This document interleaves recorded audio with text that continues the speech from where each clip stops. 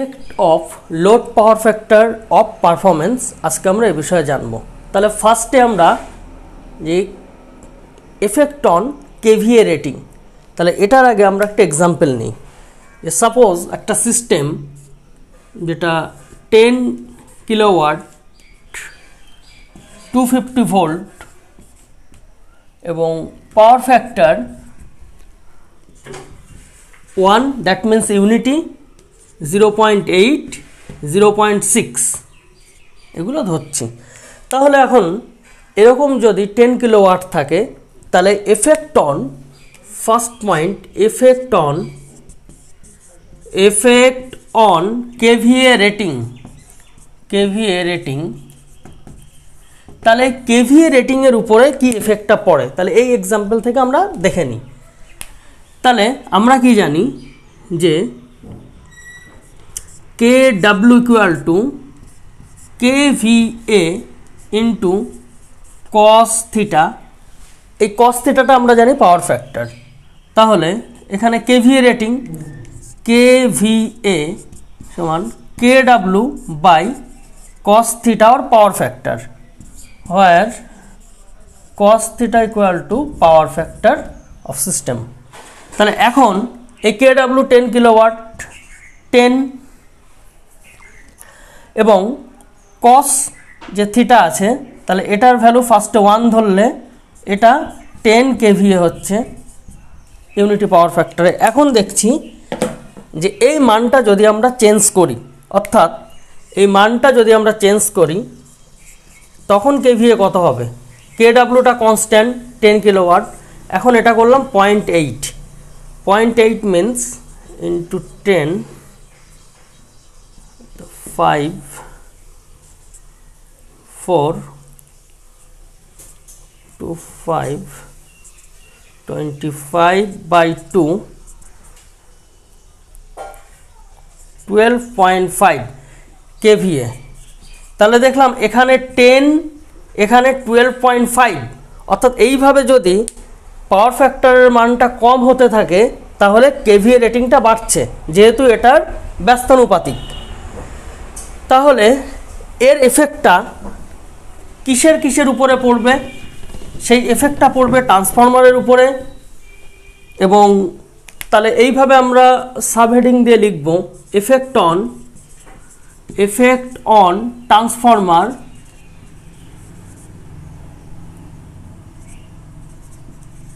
transformer effect on switchgear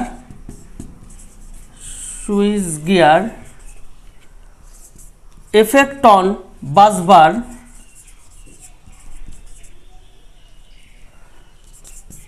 effect on circuit breaker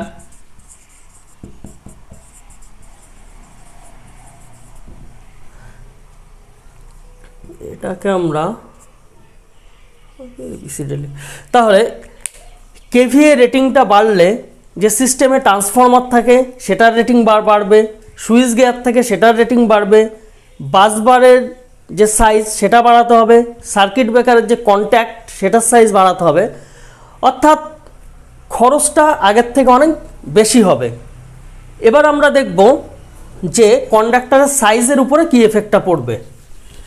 তাহলে একইভাবে একইভাবে আমরা কি জানি, একটা সিঙ্গেল ফেজের ক্ষেত্রে পাওয়ারের equation VL IL cos theta, that means power factor. VL line voltage IL line current এবং থ্রি ফেজের ক্ষেত্রে এটা ফর সিঙ্গেল ফেজ ফাই দিয়ে ফেজ চিহ্নকে আমরা ডিনোট করি।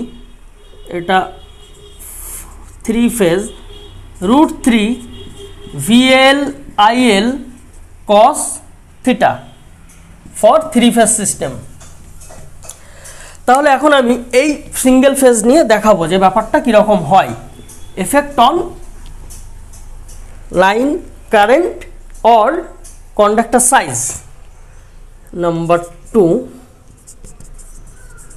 effect on conductor size or line current or line current তাহলে আমার সিস্টেমটা কি?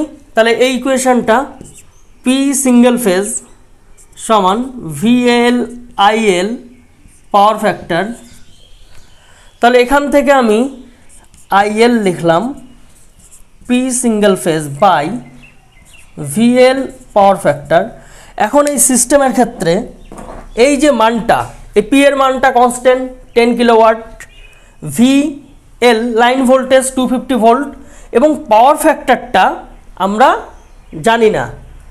এই যে এর আগে আমি যেটা বললাম কেভিএ রেটিং কেভিএ রেটিংয়ের ক্ষেত্রে কেন কেভিএ রেটিং ট্রান্সফর্মার এগুলো করা থাকে বা সুইচ গিয়ারে কারণ যখন ম্যানুফ্যাকচার কোম্পানি সেটা তৈরি করে, তারা জানে না যে লোডের পাওয়ার ফ্যাক্টরটা কত হবে। তাহলে এখানে আমরা বসিয়ে দেখি ফার্স্ট ইউনিটি পাওয়ার ফ্যাক্টর ধরছি। তাহলে এটা টেন কিলোওয়াট টেন কিলোওয়াট থাকল এবং এটা two fifty volt into power factor unity যেহেতু এটা ভোল্টে আছে, এটাকে কিলো ওয়াট আছে, তাহলে এটা ওয়াটে কনভার্ট করতে হবে। তাহলে ten to the power three that means thousand ampere তাহলে ফার্স্টে আমরা কি দেখলাম? ইউনিটি হলে ফর্টি অ্যাম্পিয়ার এবার আমরা কি দেখব? যে একই ইকুয়েশানে একই ইকুয়েশানে আমরা দেখব যে পাওয়ার ফ্যাক্টরের মানটা পয়েন্ট এইট হলে কি হয়? পাওয়ার ফ্যাক্টরের মান পয়েন্ট এইট তাহলে একইভাবে IL ten into thousand by two fifty into point eight এবং একইভাবে যদি আমরা, একইভাবে আমরা পয়েন্ট সিক্সের জন্য ক্যালকুলেট করব। আমরা পয়েন্ট সিক্স তাহলে এটা ফিফটি হলো।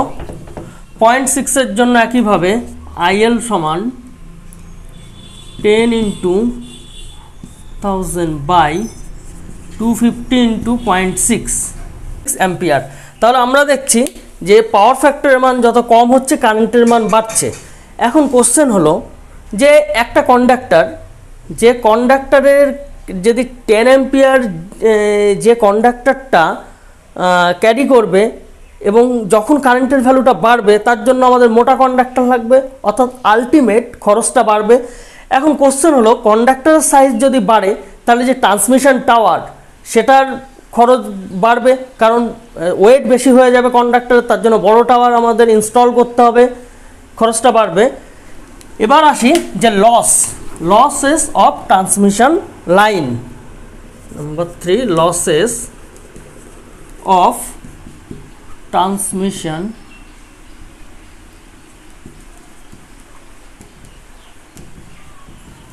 transmission line transmission or distribution line যেহেতু কারেন্টের মানটা বাড়ছে, আমরা জানি যে ওখানে basically I square R loss হয়। আই স্কোয়ার আর যেহেতু এই আই স্কোয়ার অর্থাৎ কারেন্টের স্কোয়ারের সঙ্গে প্রপোর্শনাল অর্থাৎ এই মানটা বাড়বে এবং লসটা বেশি হবে। তারপরে আসছি যে effect on voltage regulation effect on voltage regulation